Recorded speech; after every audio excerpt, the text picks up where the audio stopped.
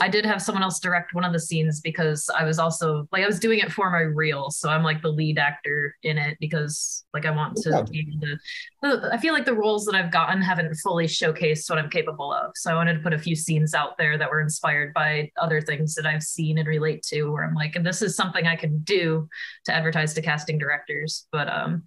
There was one that just required a lot of movement. It was a restaurant scene. There was a lot of timing involved with like choreography and like people hitting their marks. And I'm like, this is going to be a lot to organize. I want eyes behind the camera, but like I have to be on camera, like I'm on screen. So it's going to be hard for me to be in that place, deliver what I need to, and run the show. So I got one of the top people in Buffalo who like crushes the 48 and like constantly puts out like really amazing stuff. And yeah. And this is just for your reel.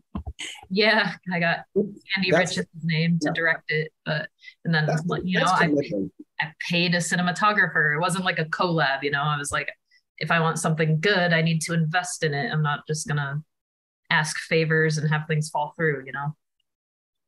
good move you know like especially when you get to a certain point um and and if you have the money uh not oh yes buy tesla stock but don't forget to actually pay your cinematographer Oh, Honestly. absolutely.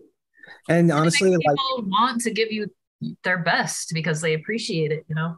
they're going to call you six months from now on the next project because you're the last thing on their mind you know you've actually worked together he's going to do you a solid you know that's honestly and i think that's i think that's how it works like yeah you got to ask for favors once in a while but you know you just don't take advantage of people you know and uh useful, like a great like I naturally am a helper. So like if I see someone struggling, I'm like, how can I help? Because like you're stressing me out and I need to fix this. So and then like people appreciate that and they're like, wow, this person like impacted me and I'm going to think of them when I need to like recommend someone or I have something ca- fall through like and I need someone last minute. Like I know you're dependable, you know.